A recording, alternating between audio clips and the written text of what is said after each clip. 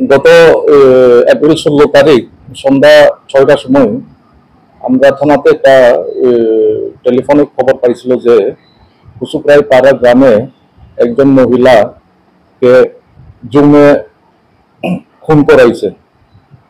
এরপরে সাথে সাথে আমরা খবর পাওয়ার পরে ওসিকে জানাইছে এবং আমরা সব থানার অফিসার চার পাঁচজন মিলিয়া আমরা ঘটনাস্থলে যাই। ঘটনাস্থলে যাওয়ার সময় আমরা রাস্তা যাইতে মহিলারে তারা একটি অটো দিয়া হসপিটালে নিয়ে আইতেছিল, গ্রামের লোকজনরা। এরপরে আমরা কিছু- অফিসার আমরা হসপিটালে গেছি আর কিছু ঘটনাস্থলে গেছে। এরপরে আমরা ইনভেস্টিগেশন শুরু করছি এখানে। আর হসপিটালে পৌঁছার ঠিক আগে মহিলাটা মরছে কইয়া ডাক্তার বাবু ঘোষণা করে দিছে। এরপরে তার জামাইরে স্টেটমেন্ট করছি হসপিটালে আর জামাই কইতেছিল, তার বউ সকাল, ওই দিনে সকাল আটটার সময় তার বউ জুমে কাজ করার লাগিয়া একা গেছিল। এবং তারা নিজের গ্রামের লোকেই আরেকজন ওই মিলনজয় রিয়াং নাম বলিয়া, এও তারা জুমের পাশেও কাজ করতে গেছে।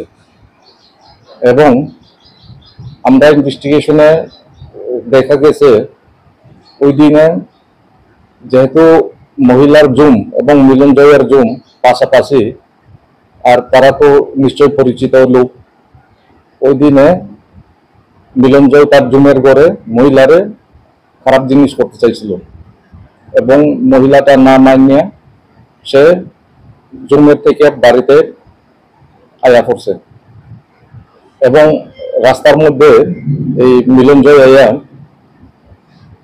মহিলাকে, মহিলা নিজের দাও দিয়া তারে হত্যা করছে রাস্তার মধ্যে। কারণ যদি মহিলা বাড়িতে যায় তার তো পুরা প্রকাশ হইবে, তার কাজ তার খারাপ কাজ যে কি করছে, যার কারণে মহিলাটারে রাস্তার মধ্যে খুন করিয়া হ্যাঁ এবং হ্যাঁ ওই এইখানে ঘটনাস্থল থেকে আবার ফিরে তার নিজের জুমের পোশাকগুলি সব ধুইয়া জুমে রেখেছে এবং হে গ্রামে আইয়া, হে আইয়া খবর দিয়ে দিছে যে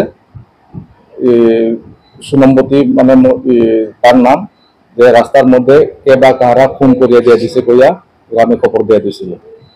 এবং গ্রামের লোক গিয়া যখন তারা এস স্টেটমেন্ট অফ গ্রাম তারা যখন ওই ঘটনাস্থলে গিয়া পড়ছে মহিলাটা কিছু জীবিত আসলো, কইছিল এবং তারা তার বাঁচানোর লাগিয়া তারা হসপিটালে নিয়ে গেছে মাসমারা পিএইচসি হসপিটালে এখন এস ইনভেস্টিগেশন সব আর মানে যা এভিডেন্স কালেকশন হইতেছে, এটা সব মিলনজয়ের বিরুদ্ধেই এভিডেন্সটা আইতেছে।